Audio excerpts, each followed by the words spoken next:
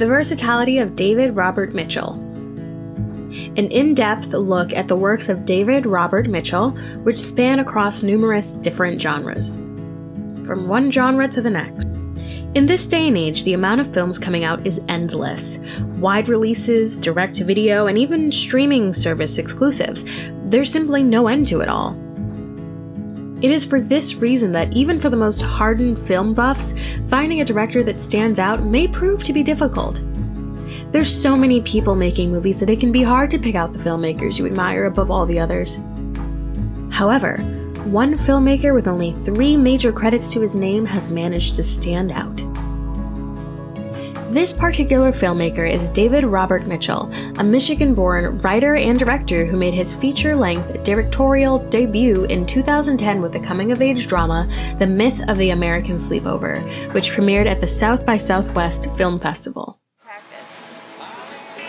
Practice. I just feel like I should have done more this summer. You did a lot. I mean, fun. He then received some mainstream attention with the horror film It Follows, which had its premiere at the Cannes Film Festival before getting a wide release. Most recently, he came out with a mystery thriller starring Andrew Garfield, Under the Silver Lake, which also premiered at Cannes before getting a wider release by A24 a year later. One standout aspect of David Robert Mitchell's filmography that can be observed from simply reading the above list is that each film listed above is of a completely different genre saw her at parties and shows and stuff.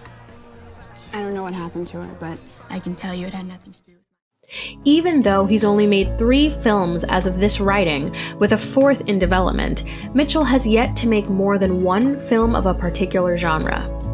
This, in and of itself, may not seem like that big of a deal, but it does indeed say a lot about his skills as a filmmaker. He has solo writing and directing credits on each of his films, and when so many of Hollywood's famous directors are known for sticking to certain genres, having this much range while keeping each film personal is a very important skill to have. What is his style?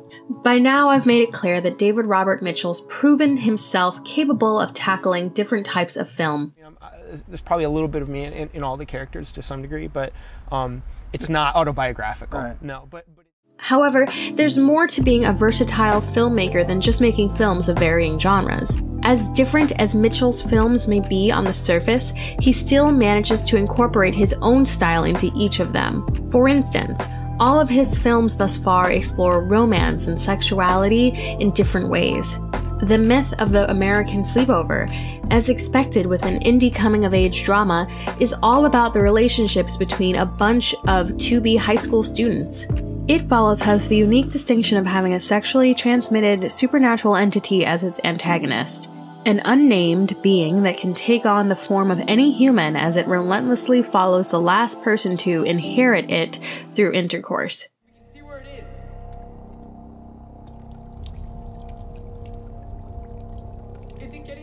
Under the Silver Lake features a sexually active protagonist who finds himself in a very bizarre mystery that starts off with his new neighbor, whom he had been developing strong feelings for, vanishing without a trace. Another aspect that each of these films share is how they establish mood and atmosphere. Even though they are all heavily dialogue driven, they feature plenty of quiet moments that always feel like they're in service to the story, be it through building tension or simply telling parts of the narrative visually. It Follows lets the audience know right away that there's something wrong by showing a worried young woman being frightened away from her home by some unseen threat. Under the Silver Lake has numerous scenes of the main character carrying out his journey by himself, in silence. Oh, fuck. Is Sarah alive? She might have ascended already. I don't Methods like these give David Robert Mitchell's films a consistent personality, as removed from each other as they might be genre wise. One reason why variety as a director is so important is because it can give audiences more reasons to keep watching their films. If one director is known for making comedy or action movies that all feel the same, then there's a good chance people will eventually catch on to the pattern and become less interested in what they might have in store for the future, even if that director for example, filmmaker Wes Anderson has become well known for the very unique aesthetic present in all of his movies. The manner in which these movies are shot, scored, written, directed, and acted is one that's incredibly distinct and unlike any other film, and Wes Anderson has received widespread acclaim for this. However, he has received occasional criticism for his movies feeling repetitive, as they all feature the aforementioned trademark style of his. Don't get me wrong, I personally love Wes Anderson's work myself, and I'm not at all bothered by the similarities each of his films contain. But for the people that are turned off by that particular issue, David Robert Mitchell could be seen as a sort of antithesis to what Wes does. His films share certain themes and qualities, but the fact that they're all so tonally different from one another keeps them all fresh and interesting. What future directors could learn. For the movie, um, with um, with a different cast of people, like oh, people that cool. um, uh, in in Florida. Regardless of whether or not one actually likes David Robert Mitchell's films, what he does is something that should definitely be encouraged in aspiring filmmakers.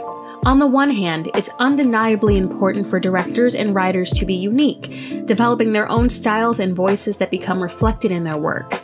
However, that doesn't mean they need to hard lock themselves to a specific type of film people will come to expect. I want to dance to this. Come on. I don't know this song. Variety is the spice of life, as the saying goes, and filmmakers shouldn't be afraid to do what Mitchell does and experiment with different genres while at the same time putting their own personal touch in each of the films they come out with. David Robert Mitchell isn't done making films yet either. As previously mentioned, he's currently working on a new film titled Heroes and Villains, which aims to put a unique spin on the superhero genre.